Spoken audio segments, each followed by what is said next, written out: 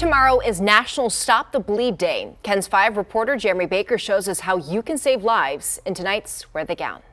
If somebody has an injury that causes severe bleeding, that person can bleed to death in less than five minutes.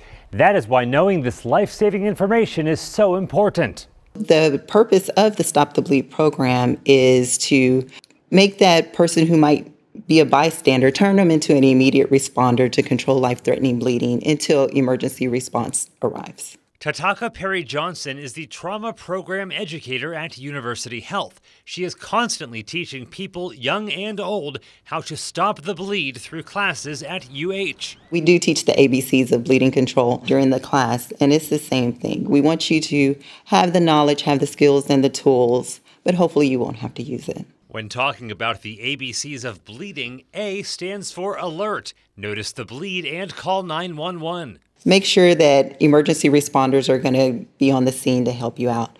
And then you're going to want to identify where that bleeding is coming from. B stands for bleeding. That's when you identify life threatening bleeding to know what it looks like. You just want to see what life threatening bleeding look like. Uh, is there a pooling of blood? Is there squirting of blood? Are their clothes soaked? And C is compression through the use of direct pressure, wound packing, or a tourniquet, even with clothing. Take this gauze and we're going to pack it inside the wound, as you see and you want to make sure and get every angle of that injury.